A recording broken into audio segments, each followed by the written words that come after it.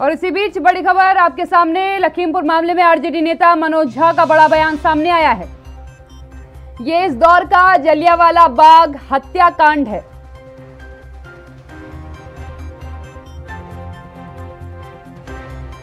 किसानों से माफ़ी मांगनी चाहिए अपील उनकी तरफ़ से करी गई है। योगी सरकार पर सीधे तौर पर निशाना साधा गया। इस वक्त की बड़ी खबर आपको बता रहे हैं, जहाँ लगातार विपक्ष के निशाने पर सरकार आती नज़र आ रही है। आरजेडी नेता मनोज झा का बड़ा बयान सामने आया। मनोज झा ने सीधी तौर पर इसे आज के दौर का जलियावाला बाग हत्याकांड घोषित किया है।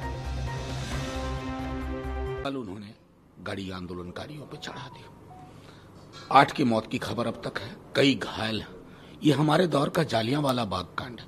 मुझे दुख इस बात का है कि जो लोग किसी की उंगली की चोट पर भी संवेदना व्यक्त करते हैं, उनकी ज़ुबान से संवेदना का एक स्वर नहीं सांत्वना का एक स्वर नहीं, ये कौन सा निज़ाम गढ़ा जा रहा है?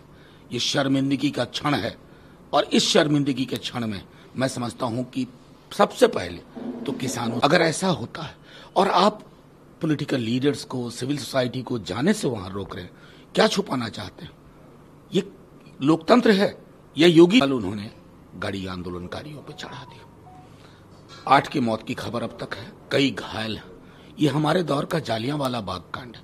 मुझे दुख इस बात का है कि जो लोग किसी की उंगली की चोट पर भी संवेदना व्यक्त करते हैं, उनकी ज़ुबान से संवेदना का एक स्वर नहीं, सांत्वना का एक स्वर नहीं, ये कौन सा निज़ाम गढ़ा जा रहा है?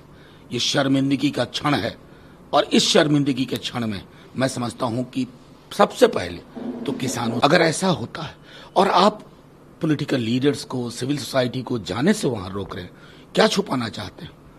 ये लोकतंत्र है तो मनोज झा को आपने सुना, सीधी तौर पर नाराज़गी ज़ाहिर की। उन्होंने कहा कि जो सरकार किसी की उंगली पर चोट लग जाने पर दुख व्यक्त करती हो, सांत्वना व्यक्त करती हो, वो इतनी बड़ी घटना पर खामोश क्यों बैठी है? उनका कहना है कि क्यों आखिरकार विपक्ष को जाने से रोका जा रहा है? क्या सरकार छिपाना चाहती है? साल के तीन सौ पैंसठ दिन 24 घंटे और सातों दिन, हर हालात, वाकयात की, हर खबर की, हर दस्तक को देखने के लिए। एएनबी न्यूज़ के यूट्यूब चैनल को करें सब्सक्राइब और फेसबुक पेज को करें फॉलो उठाइए रिमोट और जुड़िए एएनबी न्यूज़ के साथ। टाटा स्काई चैनल नंबर 1927 और एयरटेल चैनल नंबर 356 पर। अब ANB news Jio TV Mobi app Airtel Xstream OTT Instagram Twitter Google Play और ऐप स्टोर पर भी अवेलेबल है। एएनबी न्यूज़ आपकी बुलंद आवाज़ आपकी बात।